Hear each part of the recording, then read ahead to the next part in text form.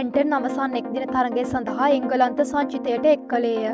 ශ්‍රී ලංකාවට එරෙහි අවසන් එක්දින තරගේ සඳහා ටොම් බැන්ටන් එංගලන්ත සංචිතයට ඇතුළත් කර ඇති අතර ඩේවිඩ් මාලන් පෞච්කලික හේතුවක් මත නොපෙමෙනෙන අතර ජෝස් බට්ල සහ බෙන් ස්ටොක්ද ඔවුන්ගේ තුවාලවලින් සුවය ලබා තිබේ.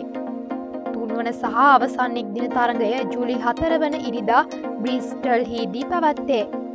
විසි දෙක හැවරිදි බැන්ටර්න් එංගලන්තය වෙනුවෙන් එක් දින තරඟ හයක් සහ විස්සයි විස්ස තරකටමයක් ක්‍රීඩා කර තිබේ.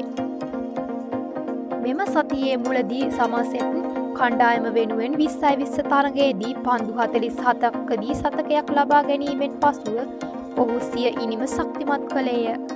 අවසන් වරට එක් දින තරගයකට බැන්ටන් සහභාගි වූයේ දෙදස් විස්සේ අගෝස්තු මස හතර වන දින සඳම්ටන් හිදී අයලන්තයට එරෙහිවය.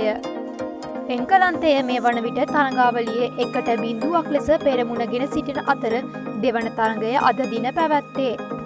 මෙවැනි උණුසුම් පුවත් දැන ගැනීමට අපව සබස්ක්‍රයිබ් කරන්න නැවතත් උණුසුම් පුවතකින් හමුවමු.